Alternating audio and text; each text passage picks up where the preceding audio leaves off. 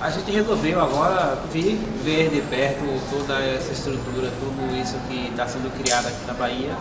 E realmente é um mundo diferente, é uma, uma situação diferente, é um caminho diferente que está to tomando a música da Bahia, a música orquestral.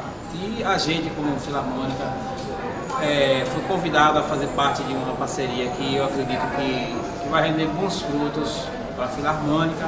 E a gente já tem alguns integrantes da, da Filarmônica que fazem parte do projeto Desbar já há algum tempo.